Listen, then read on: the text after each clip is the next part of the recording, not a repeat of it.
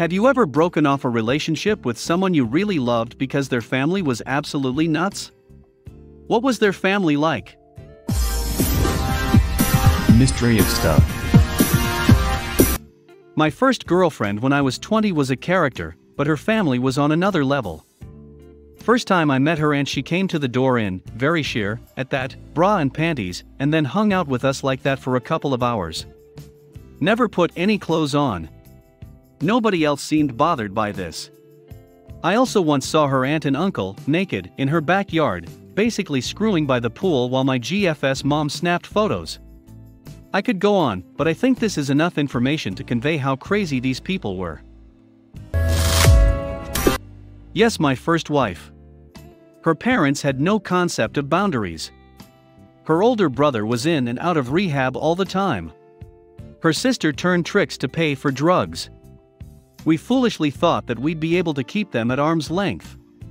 But she felt guilty and let them pull her back into their dysfunctional, fucked up lives. After a while, I couldn't take it anymore and we split. Fortunately, we had no children. I'm sorry for you, dude.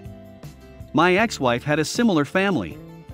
She just kept pulling them closer in hopes that we'd all be able to get along, which had the same result, it just made things 10 times worse.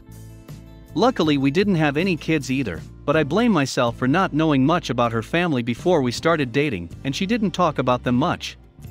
I guess you wanted it to work it between us two. Either way, I feel for you. We were together 10 years. His mom cried all the time and made everything about her. Her children pooled their money to buy her an expensive TV for Christmas. When she opened it, she burst into miserable tears saying it wouldn't fit her favorite TV cabinet. Then repeated how disappointed she was to all the family all Christmas. She also referred to her daughter in law as the vessel that provided her grandchildren. I'm on the other side of this question. My family are worthless piles of crap who would diss the Pope for attention. I mean, there is something seriously wrong with them, and I have no idea why I wasn't infected. Long story short, brought a girl home I was dating, and it went exactly as I thought it would. First thing out of my stepdad's mouth, doesn't he, pointing at me, have a tiny dick? You should come over here and sit with me. It was like an old school cartoon. Could have sworn I saw Dust kick up with how fast she took off out of there. In a similar boat, I told my so early on in the relationship I was no contact with my folks. I told him I could arrange a meeting for him, but that there would never be an ongoing relationship between me and them. We've been together four years and he trusts that I'm right and that they're not worth the time. Plus, he's got enough of a cool family for the both of us. Not the sole reason, but it played a big part. Family is prominent in psychology, so a large part of their interactions are just trying to diagnose each other and those who come into their lives. It also didn't help that the parents of my S/O had seemingly been running up a tally on how much it cost to send them to college and raise them and tried to leverage a $300,000 balance for repayment when they graduated. Oh, but that balance was only a front to motivate their child to become financially independent and or marry into money. So not only did I have to think about how we were compatible, but I was seriously having to consider taking responsibility for paying their parents $300,000 if I wanted to marry them. I honestly wanted nothing to do with their family as a whole. The mother wanted to get her daughter with nothing short of celebrity, and having a BMW 7 to drive at the minimum. And work visa as soon as she landed in US. I paid business class for five of them to come visit and basically measure me up. Said no even though I loved her since college days. Ex's mom heavily recruited me to join her cult where you bow down, literally prostrate like head to the floor kind of thing, to a guru and donate dollar dollar money monthly to fund this guru's lavish lifestyle. Even my ex knew she was nuts, but wasn't willing to stand up to her. Ultimately, it just became too much of a problem, couldn't hang out at their house, arguments over not standing up to her, that I broke it off, and thank goodness. A guy I really thought would work out had extremely racist parents. His dad would call me black whore and worthless under his breath constantly. Although he never completely defended them, he often downplayed the seriousness, which I understood because it's your parents. I get it. But it got to the point where dealing with his parents' verbal abuse was mentally exhausting, and made thinking of a future and raising a family with them around horrifying, so I had to let that one go. He broke up with me, but I made the choice to walk away entirely despite him asking us to take a look at it and give it another go.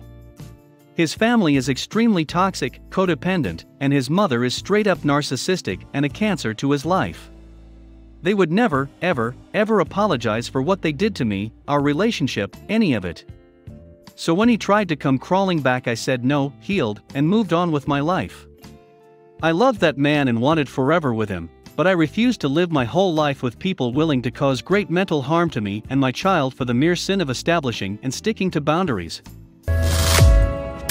One of the reasons I broke up with my first serious boyfriend was because of his family.